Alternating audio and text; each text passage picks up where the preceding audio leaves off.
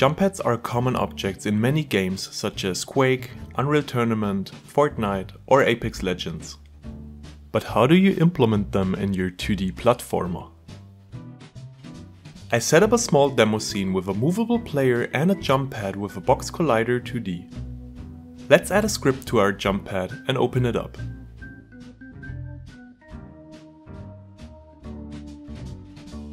First of all, we need a private float for the bounce of our jump pad. The higher the value, the higher our player gets accelerated upwards.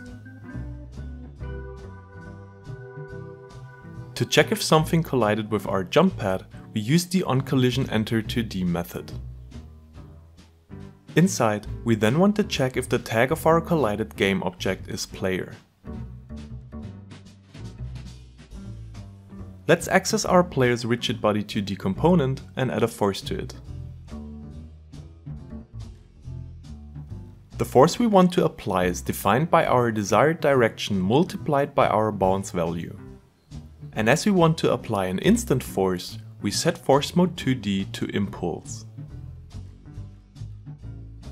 Back in Unity, we have to assign the player tag to our player.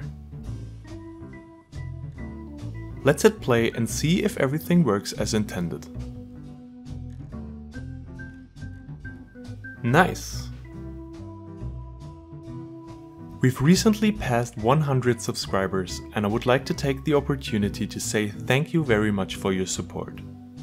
This is a huge milestone for me and it really means a lot to me.